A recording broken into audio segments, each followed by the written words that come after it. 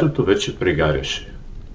Тихо тлееха под сипкава пепел летните цветове и шарки. Навред из полето бяха се оголили подливи стърнища. Зеленееха се още царевиците, бостаните и лъките край премалелите рекички и кладенци. Стопите бяха отдавна превозени от харманите и работният народ сега се трупаше там, прахоряците, които се дигаха от сухата слама изпод копитата на препускащи коне. Вършитбата беше в разгара си. Двамата бейове се срещнаха на синора между мерите на Сърлец и Койнево. Там се бе спрял сата си Рашид бей, господарят на Сърпец, и оттам бе изпратил свой човек да извика Селин бей, господаря на Койнево. После, като видя, че се задава Селин бей, и той яхнал на перен ад, Рашид бей махна с ръка на пазача си да се отстрани.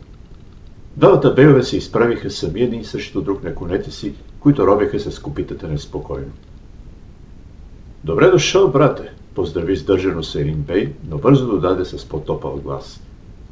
Не знаех, че си в Сърпец. Вчера пристигнах и утре пак се връщам в Битоля, отвърна Рашид Бей, но се виждаше, че мислите му бяха другаде.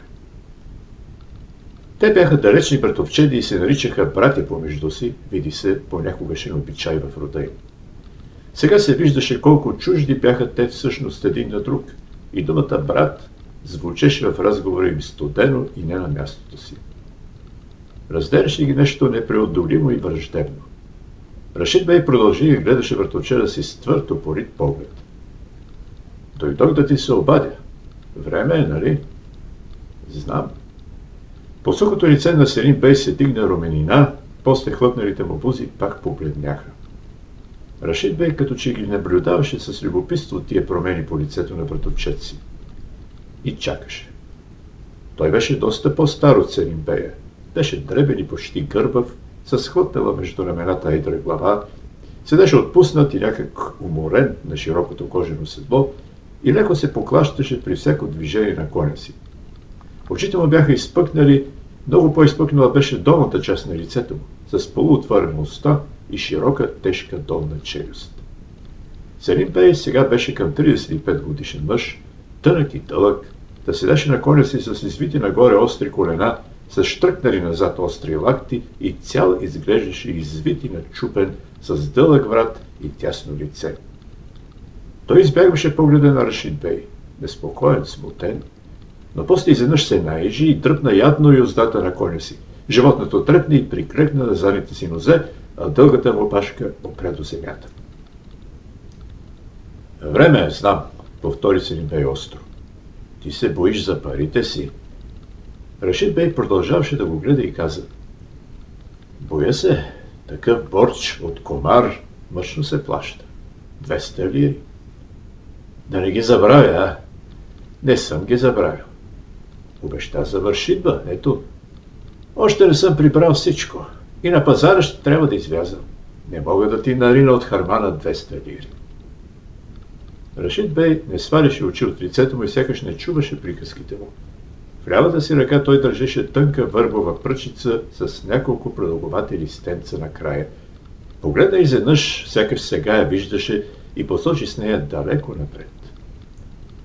До уния двете дървета, е, там, погледни, може там да премести моята межда, ако искаш, за порча ти. Серим Бей цял се изви назад и после размаха дългата си ръка. Нали, това е половината ни земя до там, за 200 лири. До кога ще те чакам още Серим Бей? Наново пропълзяване на кръв по лицето на Серим Бей и дори очите му се наляха с кръв. Той измляска няколко пъти с сухи устни и каза бързо, едвам сдържайки гнева си след 15 дни, след 15 дни ще дойда в Битуля и ще ти донеса парите. 200 лири. Не се сърди, Селиндей. Дадох ти ги на вяра. И ти каза, довършитба. Сърди се на себе си, карташа. Селинбей обърна лице в страни с наведени очи. Дългият копринен пискил на феса му висеше някак смешно и целият той изглеждаше жалък в своето разкошно облекло с множество златни сребърни веришки и висулки по тесните му гърди, с два револвера и огромна кама в широки му си ръхлък от тънка жълта кожа. Рашид Бей срещу него изглеждаше като падар с вехтото си облекло, просто и без никакви украшения. А може би най-богатият човек в целия битовски билет. Нямаше какво да говорят повече. Рашид Бей посегна и пресна леко ата си по шията да го обърне назад и докато коня се обръщаше, каза с лице към Селин Бея. Ще те чакам след 15 дни битоля. Аллах да те закрия, Кардаша. Селин Бей остана сам на междата и като че ли нищо не чу. Рашид Бей не го покани в кулата си, както друг път, и глухият тропот от купитата на коня му бавно се отдалечаваше по една тясна пътека между засъхнали треви и тренаци. Колкото и да беше потиснат в унижението си, Серин Бей забеляза как пазачът на Рашид Бей оттатък подкара коня си да настигне свой господар. Серин Бей ритна гневно ата си с железите стремена, дръпна юздата. Чакай ме, след 15 дни. Изръмжа той глухо и сам не знаеше в озлоблението си дали това беше обещание или закана, или пък подигравка. Коня се завъртя оплашен, с широко разтворена уста и избрещени очи, завъртя се на другата страна, изправи се на задните си нозе, а Бея дърпаше и устата, блъскаше корема му и животното, като не знаеше на къде да тръгне, започна да се връща назад. Там, на един-два растега, край невисок бряг се синееха дълга редица шипки, капини, трънки и бурени на бутливи вълма. Конят навлезе в тях с задните си нозе, но веднага се втурна пак напред и завъртя в страни заницата си. От към брега неочаквано се чу изплашен глас и се показа и за транаците млад дрипав циганин, над очите му беше потиснат ален кирлив фес без пискюл и под него се показваха дълги прави коси. Ще ме сгазиш, бейм! Аман, бейм! Проплака той на турски, но съвсем по-цигански беше разчленена всяка дума и цялото му смугло космато лице се смееше. Полегнал бех на подребна малко. Селин беше се обърна и беше готов върху него да извее всичкия си яд, но нямаше с какво да го удари. Не можеше да скочи изсата си отгоре му. И докато го гледаше в гнева си, през ума му изведнъж мина бърза мисъл, че той ми изглеждаше като истински циганин. Ала в следващия миг атът му усетил ослабналата ръка, го поресе с бясна върсина по мечтата нагоре. Циганът го проследи с поглед. Огодливата усмивка бързо изчезна от лицето му и той тихо промърмори в рошевите си мустаки, но не на турски или цигански, а на серски говор. По-големите риби изяждат по-малките, бей. Тебе Рашид бей. Ти пък... Ама де да видим? Той се огледа бързо и пак изчезна зад бодливите храсти. Но от самия край на Койнево имаше едно гумно, отрупани бяха там няколко стогове с снопи, високи купи слама, четири коня непрестанно препускаха около стожера. Близо половината от селските люда работеха на това гумно, безпирно, мълчаливо, невесело. Дори по-малки деца бяха доведени да помагат. Рядко ще се чуе човешки глас, едва-едва ще промълви някой по две-три думи, ще се чуе детски вик, но навсякъде по гумното час по час се чуваше гласът на Ибраим Ага, кехаята, дребен кьосъв турчин с зеленикави котешки очи, с дълга жила в пръчка в ръцете си. Какво, какво, миладине? Обърни насам колата, бре, насам. Хайде, не се май. Или по-нататък. Дигай вилата по-високо, бре, кюпек. Схванати ли са ръцете ти? И още по-нататък между купите слама. Ти, не да ни се, какво се зад купите си криш? Млада селенка, приседнала на колене до една от купите, държи на гърдите си детенци и го кърви. Турчинът е втренчил в нея алчни очи, а тя цяла се свива, крие се под широката си бяла кърпа и тихо малови. Не мога да го оставя, ага, гладно е. Ритмично съска шуми сламата под краката на четирите коня, хрупти там върху твърдата набита земя и зароненото зърно, плющи дългият къмшик високо в прашния въздух, След конете тича десетина годишно момче, босо през сламата, скъсане чиста риска, цяла в кръпки и разтворена до издутото му коремче. А, ти, Яго, Яго! По краищата на гумното няколко жени прибират, подхвърлят, подреждат измачканата разбъркана слама толкова под копитата на конете с дълги дървени вили. Когато дългото въже се навива около стожера, момченцето премества дървената кука, която е на края на въжето и я закачва на оглавника на коня от към другия край. И отново подкарва обърналите се коне, дигнало високо към шика. Той изглежда още по-мъничко между главите и нозете на четирите кони, затънало до колене в сламата. И някак много силно и звънко прозвучава детският му глас. Отвърши, Яго, Яго! А, а! Рошевите му коси плъмтят на августовското слънце, то все по-често се спира край стожера, замаяно от умора и от слънчевия пек. Отпуща към шика в славата. Конете намаляват ход.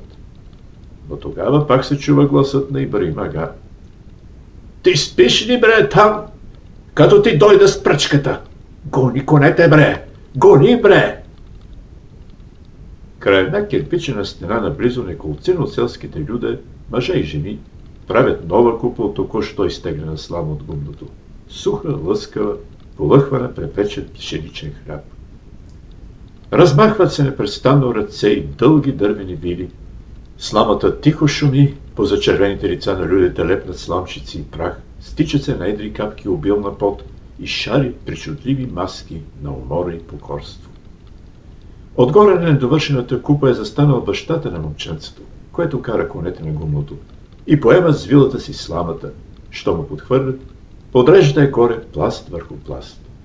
Привика на кехаята, той поглежда отгоре детето си тревожен, но очите му се бялават сякаш безучастни. Селим Бей се спря с коня си най-напред тук. Атът му кладеше глава нагоре-надолу и ширеше ноздри срещу топлия дъх на разбитите снопи. Приближи се и Бримага, изви очи наоколо, като че искаше да покаже с поглед на господаря си цялото гумно и всичко там. Виждаха се около 50-60 мъже, жени, деца, които работеха като мрави, ходеха насам натам в шарените си, ала отдавна похабени, раздърпани руби, размахваха работливи ръце, прививаха плещи под тежки товари, горяха в слънчевия пек, задъхваха се тежкия прашен въздух. Редица коли, претоварени с снопи, теглени от дребни жилави волове, извиваха край гумното. Виждаха се там и други стогове снопи, купи слама, цели купища неотвеяно зърно, изтеглено беше от гумното и чакаше да подухне вечерникът. Виждаха се по-нагоре и купища вече отвеяно зърно.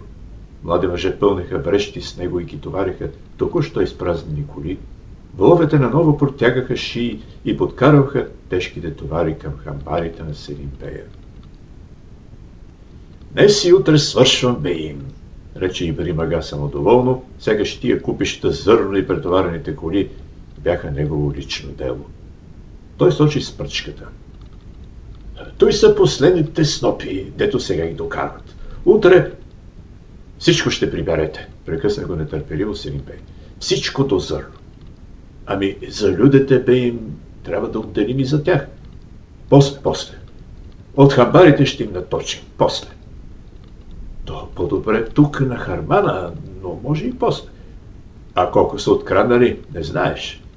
Крадат бе им, знам. От моето око не ще избегне, но крадат бе им, знам. Пия ми е лед. Приближи се дядо Марко Митров, най-старият тук, баща, дядо и прадядо на половината люда, които работеха на това гумно. Приближи се на кривите си нозе с бяла разрошена брада и бели вежди, но и той разгърден, потен, цял зацапан с прах и сламчици. Работеше и той с синовете си, дъщерите и внуците си. Спря се старецът пред двамата турци покорен, с ръка на гърдите и колкото се боеше от бея, толкова се боеше и от слугата му, кехаята, но каза Селим бей, да ти са много години. Днеска трябва да отделим и нашия хлеб, колкото ни се пада. Ето, свършаме с гумното, а има и пшеница и ръж. Кажи да не отдели нашето и мага. Гладни сме, Селим Бей. Не се трай без хлеб, а работа много. Селим Бей искаше да се покаже спокоен, грижлив господар, който всичко е преместил за людите си. Той каза отгоре от си на развален преспански говор. Нема да ви остава гладни и той година, бре. Първо ще приберем всичко в хамбарите да видя, що имам аз. Вие не плащате, а шар, бре, аз плащам. Селим бей, да ти са много години. Притисна и двете ръце дядо Марко на картите си. Всека година, откакто помня и баща ти, и дедо ти, тъй, тука на гумното се отделя нашето. Да си го приберем и ние, да не идваме в кулата да просим за всека фурна хлеб. И хайванинът, що е хайванин, нема да ти работи гладен. А и ние само за единия залък. Е, стига, бре, стига, размаха сърдито ръка Беят. Казвам ти, не чуеш ли? После. Хайде, гит. Дядо Марко не си отиваше. Всяка година по вършитба изполичарите на Бея получаваха уж половината от родитбата, а всъщност колкото да не умрат гладни. Когато годината биваше по-плодородна, селените получаваха повече и можеха да дочакат до нова родитба, но се случваха години, когато те започваха да гладуват още от зимата. Тогава кехрите на Бей им даваха вреща по вреща, шепа по шепа от бейските камбари и ги биеха стояги и камшици, за да ги усмиряват в молбите и плачовете им. Така беше и в Койнево, и в Сърпец, и по всички турски чифлици из полетата на Македония. Земята беше на агити и бейовете, бяха я завладели и присвоили. Техен беше и добитъкът, техни бяха и колите, и ралата, дори дървените вили и лопати. Техни бяха и селските коливи с ниски сламени покриви. Не си отиваше дядо Марко. Бореше се той за хляба на синовете и внуците си. Ако Селин Бей прибере всичкото зърно в хамбарите си, както ставаше понякога, особено когато годината биваше по-гладна, те ще трябва през цялата година да плачат и да се молят за всяка вреща, за всяка шепа зърно. Дядо Марко цял се прави пред наперения ад на Бея. Дай ни сега нашето Селин Бей, пък и на тебе да ти е мирна главата. Работихме, пък и Господ даде тая година. Отдели ни тук нашето, да си го приберем. Като че ли търпението на Бея нямаше край и той изрече цял надут от великодушие, като той е пресерян роб. Има и царевка Хея из полето. От нея ще ви дам повече. Колко е царевката Серимбей? 50 дюлюма. Тогава Серимбей цял се изпъна на стремената си, разшири лакти и проточи глас. Ами не знаем ли аз, че вие крадете нощем от нивите и от тук, от хармана, бре? Крийте го и пак плачете за хлеб, а? Не Селим бей, да ти са много години. Местеше ръка върху гърдите си дядо Марко, клатеше по белялата си глава. Не крадем Селим бей от твоята милост, живей ме, да ти са много години. Селерите крадяха от храните, които произвеждаха. Не биха могли да преживяват от господарската милост. Не беше само залъкът хляб, дори когато им стигаше, за да не умрат гладни. Но те трябваше и да се обоят, да се облекат, макар дрипи, а до там никога не стигаше господарската милост. Селените крадяха, за да се доизхранват, продаваха и в града от краденото, за да си купуват опинци, памучна прежда или по стотина драма газ. Селените крадяха от хляба, който се раждаше от собствената им пот. Не крадем, Селим Бей, повтаряше дядо Марко със спокойна съвест. Ах, мръсен геур! Кресна изведнъж беят на турски, обели стиснати зъби, наведе се, дръпна пръчката от ръцете на кехята и започна да шиба с нея стареца по главата, по лицето, по ръцете. Не крадете, а? И още искате, още, още, още! Пръчката се щупи. Тогава пегът срита коня си да сгази с него стария селен. Нахвърли се върху стареци и кехаята с юмруци средници а в същото време работата по хармана не спираше. Шумеше зрелата слама Четирите коня припкаха, размахваха се дървени лопати и вили. Рядко ще се реши да погледне някой набързо към стария човек, който се връщаше с разкървавено лице. Селин Бей препусна към другото гумно, което беше на Мегдана под бейската кула. Избърза да го посрещне Али Ега, вторият от кехаите му.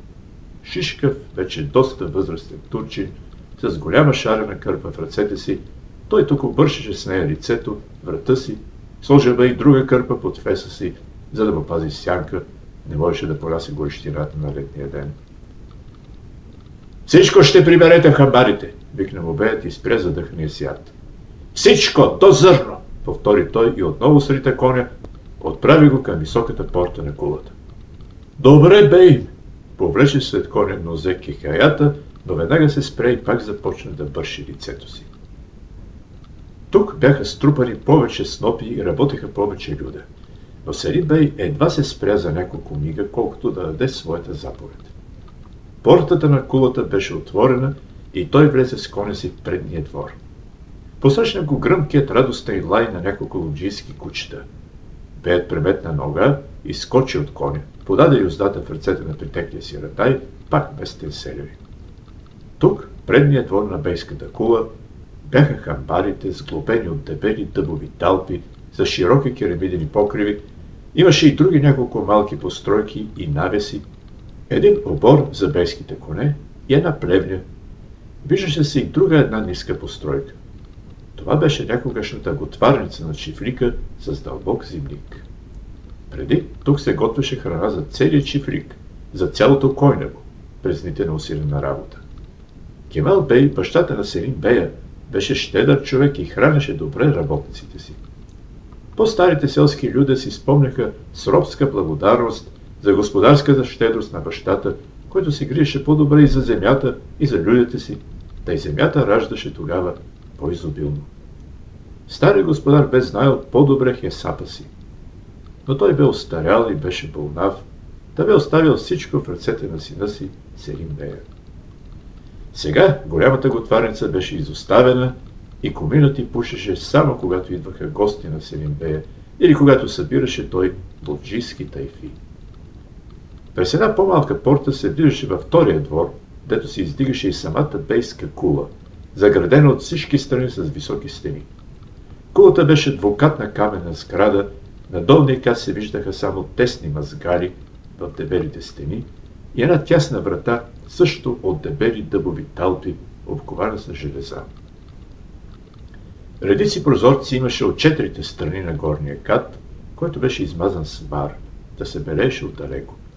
Това беше една малка крепост и се издигаше на височинка, от която започваха ридищата, все по-високи и по-стръмни към железник, един планински лабиринт, в чието дипли се гушеха над 40 села. От високите прозорци на бейската кула се виждаше цялото койнево, струпани там в подножието и 20 на колиби. Виждаше се и цялото Преспаско поле, завоите на пътя, който свързваше град Преспа с Битоля, виждаха се и планините наоколо, които заграждаха полето почти от всички страни. Цели Бей почука припряно над вътрешната порта с едно малко чукче, окачено там, и една ратейки на сенека веднага му отвори. Усетила бе тя отдалеко приближаването на господаря. Той мина през вътрешния двор и бутна тясната, но тежка врата на кулата. На долния кат на кулата също имаше хамбари и кирери, които се осветяваха през тесните мазгари. Бен се изкачи по една стълба от дядани камъни на горния кат и влезе в своята стая. Най-просторната от четирите стаи в кулата, с широки миндери край стените. Той свари тежкия си рахлък, разкърши дългото си тяло и се просна на миндера с дълбока въздишка към всемогъщия и всемилостивия Аллах. Ай, ах, Аллах! Той не бе забравил борча си към Рашид Бея, но до сега мисълта за този борч, като че ли бе прехвърквала някак покрай него. Селин Бей отиваше всяка зима в Битоля, както мнозина преспански бейови агалари. Събираха се там богати турци и арнаути от целия вилет за кеф, да пият с кришом ракия и хашиш, да погледат изкусни чинги с голи кореми, да поиграят на комара. Такъв кеф не можеше да се кара в преспа, дето старите нрави, особено за ракията и комара, бяха още на почет, макар и привидно. А в Преспа няма да дойде никога Стамбулска, Одринска или Измирска Ченгия. Голям град беше Битоля със свободен живот. Тая зима Сени Бей отиде там с 120 лири. Загуби на комар за една нощ. Взел братовчеда си други 200 лири и ги загуби пак на комар на другата нощ. Всичко стана като на сън. Така бързо изчезнах от ръцете му над 300 алтъна и Рашид Бей така лесно се бе съгласил да му даде тия 200 лири. После като го видяха да ходи и да моли за една, за две или за пет лири, за да продължи да играе и да си върне загубените пари, преспанските му другари едва ли не на сила го накараха да се върне в Преспа. Можеше да проиграе целия си имот за няколко нощи. И сега още пробягваха по тялото му уния опасни тръпки от жажда за комар, която замъгляваше тогава му. Напиха го другарите му с ракия, качиха го на едно ландо и го изпратиха назад в Преспа. Той бе казал тогава на Рашид Бея, че ще му върне порча си по вършитба следващото лято. Много бързо бе изтекло и това време. Е, ще плати Селин Бей. Той няма да даде ни зърно на изполичарите си. Стига на тях това, което ще откраднат или вече са откраднали. Ще вземе той пари от гората в Рожден. Старият му баща имаше голяма гора навътре в Железник, край село Рожден. Ще вземе Сени Бей алтъни от нея и тай година. Рожници сечаха дърва и правеха въглища от тяхната гора. Ще плати той борча си. Стигам на изполичарите краденото. Ще плати Селим борча си, а ще отиде и тая зима в Битюля и пак с пълна кесия алтани. Той се протегна с облегчено сърце върху широкия миндер и стана. Ще запуши той голямата уста на Рашид Пея, който бе дошъл чак на междата му и го повика при себе си, тъй към земята му посегна. Малко ли му е неговата земя? Рашид Бей имаше още три чифлика по Битулско нататък и чак в Леринско. Но ще запуши Селин Бей устата му. Миналата година изкара от двата хармана над 600 кила зърно. Даде също и на изполичарите. А и тая година беше добра. Ще вземе той пари и от рожден. Бързо се успокои сърцето му. Той запали цигара, поприглади с пръсти тънките си мустаки, приближи се към един от шесте прозорци на стаята. От тук се виждаше и селото Сърпец. Белееше се там и кулата на Рашид Бея. Присви очи Селим Бей и отправи нататък поглед, пълен с високомерие. От прозорците му се виждаха и двете гумна. Работеха селските люди там безспирно, припкаха конете, повлекли опашки и сламата. Белееха се големи купища обършано с жито, зърно и ситна плява и чакаха за отвяване. Изпуши тук Селин Бей още няколко цигари, донесе му ретекинията и кафе, а като се позахлади, препаса той наново си леклъка си и слезе долу. Мина в предния двор и викна да му доведат коня. Изтича през двора ратаят, влезе в конюшната и не след дълго изведе коня пак оседлан. Пет се метна ловко върху седлото и силното животно изтопурка през двора, през широката порта, която стоеше отворена. Слънцето клонеше вече на запад, над синята стена на железник. Тих полъх се бе понесъл над полето. Селин Бей се отправи към първото гумно срещу кулата. Нататък, към прашния селски мегдан, се дигна вехрушка, завъртя опашка от сухи листа и сламки и се понесе по-далеко. На гумното бяха почнали вече да отвяват. Селим Бей спря коня си там и гледаше с доволство. Приближи се към него шишкавия тариага и попоглеждаше господаря си, чакаше похвала. Неколцина от селените хвърляха обършаното жито високо във въздуха с широки дървени лопати. Засиля се вечерник, духваше в страни ситната плява, отгоре се изсипваше златен дъжд, сипеха се на куп стих троп от тежките твърди зърна.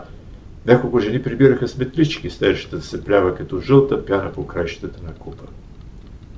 Току-що бе привършено и друго гумно и людите започнаха да събират ново купище с неотвеено жито, а други люди там бързо пренасяха снопи и ги насаждаха около стожера, да увършеят още едно гумно, докато се стъмни. Селските люди попоглеждаха кърдливо към Пея. Минал Пеятът му изглежда. Но той и сега каза на кехаята си. Всичко ще приберете. До зърно. И отмина нататък към другото куп. И там каза на кехаята си. До зърно. Той смушка коня леко, дръпна юздата му и го насочи към града. Атът припна по познатия път. С такъв бърз кон до града нямаше повече от един час ход. Сенин Бей отиваше да доведе в Койнево харема си, както всяка година по това време. Не успяха двамата кехи да приберат бейските хамбари всичкото зърно, което бе увършано и отвеяно тая вечер. Викаха по изполичарите да вършеят по-бързо, да отвяват, да пренасят пълните чувари. Сами влизаха в гумното да подкарват конете, крещяха, биеха с пръчки, с юмбруци, тичаха между людите като побеснели от ярост, а те, селените, все се бавеха, докато се стъмни. Ибри Мага ги гонеше с огромния си карадашки револвер в ръка, риташе ги, блъскаше ги, а те все се бавеха. Нищо не може да накара селския човек да побърза, що ме рече да се бави. Дядо Марко не отиде пак да се моли и никой от селените не продума вече за своя дял от хляба, но всички се върткаха и бавеха, докато се стъмни съвсем. По харманите остана още много жито, цели купища отвеяно и неотвеяно. Имаше и много снопи. Утре, Ибри Мага, утре ще довършиме, опади се някой от жените в тъмното. На кехета се стори, че тя му се присмиваше, но не се реши да я търси и гони в тъмнината. А сега, развика се той, ха си вървете по къщите, вървете да спите. Никой да не остава тука. Ами, що ага? Обадиха се гласове от разни страни. Тука ще спиме, по славата. Кой ще ти влезе в къщи да спи? Задушно е вътре. И мага грабна една дървена вила и прогони всички от купото. Прогониха селените и от другото губо. Довтасаха и поляците, и те турци. Доведоха и ратаите от кулата и всички застанаха на стража да пазят двете гумна тая нощ. Селските люди се прибраха по къщите си. Селото скоро отихна. Рядко ще излае куче, ще изпрахти кон някъде към гумната. На няколко пъти се чу кръстливият глас на Ибри Мага, но и той млъкна най-сетне. Тъмна беше нощта. Късно изгряваше на щърбената месечина. Безшумно течеше от един до другия край на небето светлия звезден поток на кумова слава. Но село Койнево не спеше тая нощ. Като отихна всичко, край стените на селските къщи, през прогнилите предища, се раздвижиха бързи сенки в тъмнината. Някъде по градините и дворищата купчени селски люда ровеха и разчистваха трапища, а други двайсетина, все по-млади мъже и жени, се събраха по широката страха пред къщата на дядо Марко Митрев. Шушнаха си те тихо, с ръце в широките пояси или под шарените престилки и чакаха търпеливо. Дядо Марко ще даде знак, що трябва да се върши, като дойде време. А той чакаше да пропеят първи петли, докато се успи дълбоко всичко живо.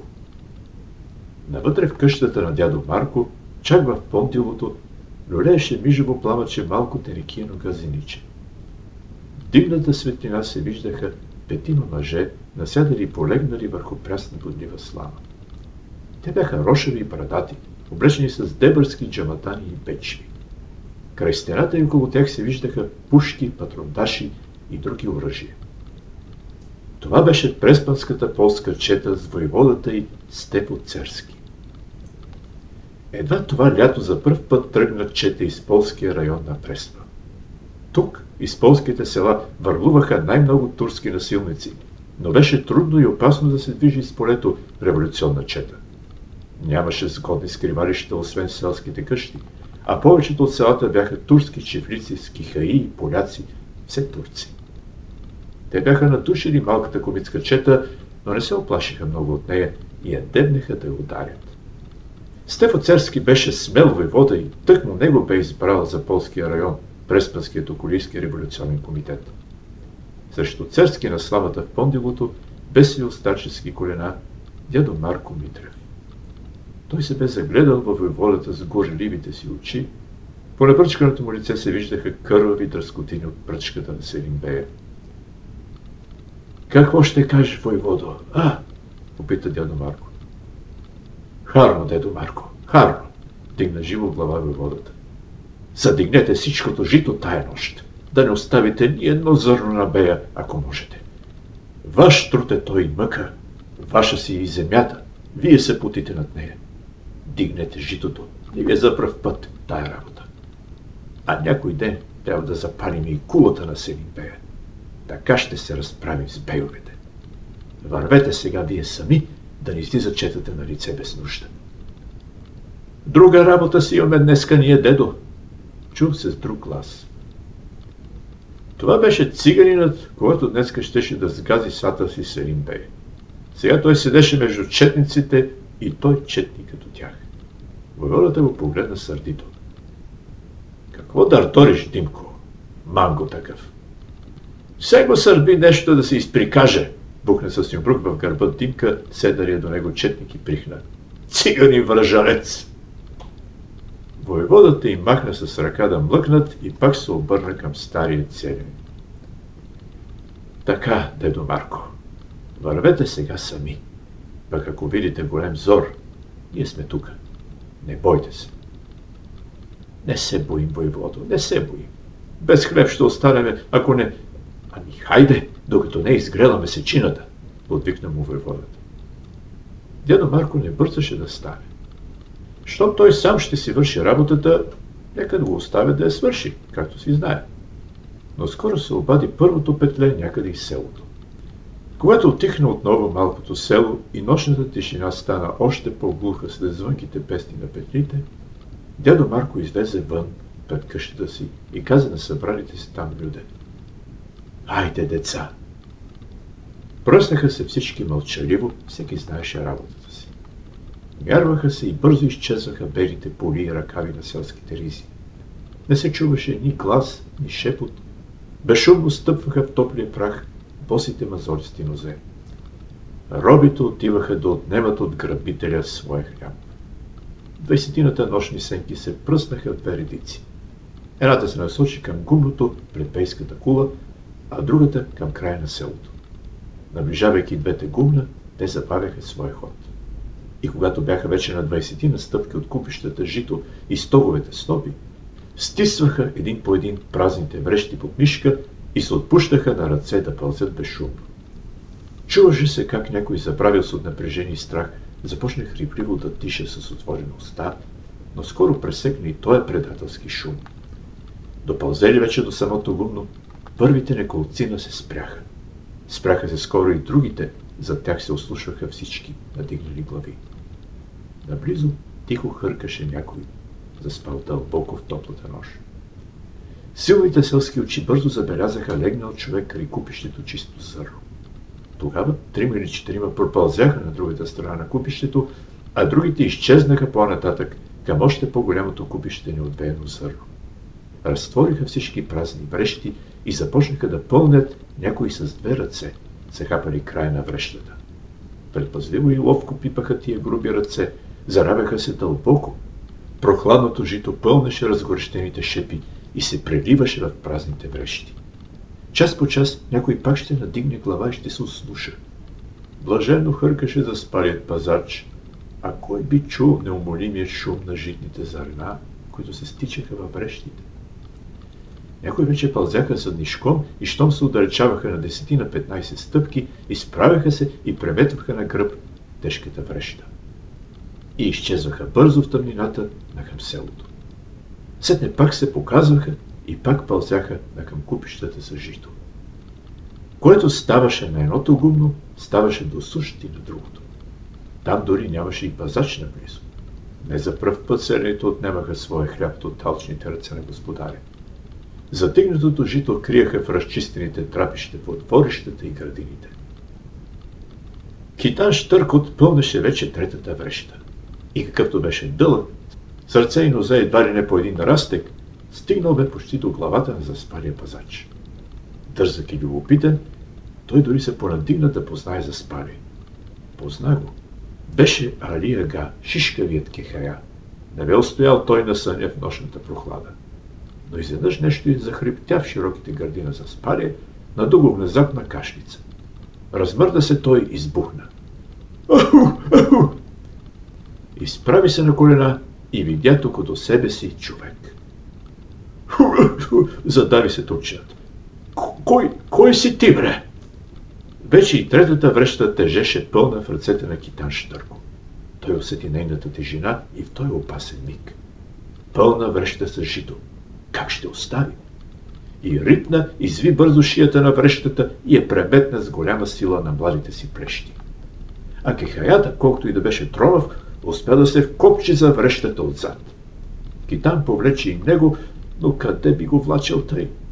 Тогава той се изви, отпусна пълната връща на земята и улови с две ръце турчина. Борбата беше къса. Алияга посягаше към лицето му, дращеше се с ногти и викаше оглушително в тихата нощ. Кита го сграбчи да го събори и напипа в пояса му отзад кама. Тръпна и я натисна отблизо в корема му. Камата веднага хлътна. Китан пусна ръчката оплашен. Шишкавият кеха се строполи с всичката си тежест и виковете му заглъхнаха проточен хриплив стон. Китан го видя как легна превит на две на земята. Но той не забрави пълната вреща. Извина ново шията си, метна на гърба си и се спусна към селото на дългите си нозе. Зад него се чуваха и други гласове, но той и сега чуваше между тях хрипливият сподарен стон на Алияга. Веднага след Китан Штърко дотичаха в селото и они от другото гумно. И те всички с пълни врещи. От кампейската кула се дочуваха тревожни и сърдити гласове, запалиха там и светлини.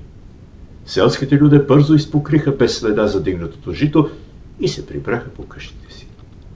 Викаха оттатък, рогаеха и се закамваха, разнасяха няколко запалени фенери, виеха там тревожно бейските хъртове, а селските колиби мълчаха, прихлупени в тъмнината. Дядо Марко Митрев въведе китана Штърко при войводата и му разказа набързо какво се бе случило. И петимата комити бяха наскачани. Пристягаха опинците си, препасваха ремени и патрондаши, стягаха се за път. Китан Штърко се изправи срещу войводата, висок чак до почернелите гради на пондилото, а едва що бяха на боли тъмни мустачки под носа му. Широкото му лице беше бледо и очите му гледаха оплашено. Беше още задъхан, но не от умора, а от страх. Войводът още повече го оплаши. Ами сега, бре! Дългият китан не знаеше какво да отговори. Войводата продължи с по-мек глас и дори очите му се засмяха. А, разкажи, разкажи как стана тая работа. Ами, зекна китан, той се хвърли върху мене, отзад. Аз пуснах врещата, хванах го. Гледам нож, мушна го в корема. Умре ли, бре? А ножа? Викаше, викаше и след мене. Ножът остана там, в корема му. Чуш! Тръсна ръка пред очите му Димко. Като си започнал, довърши го! Корема не ще умре веднага. Ще те обади на бея. Очите на Штърко се разтвориха още по-широко, а войвода като че го забрави. Ранко е още за нас, дедо Марко, каза той. Но сега може да довтасат тук някои от агите.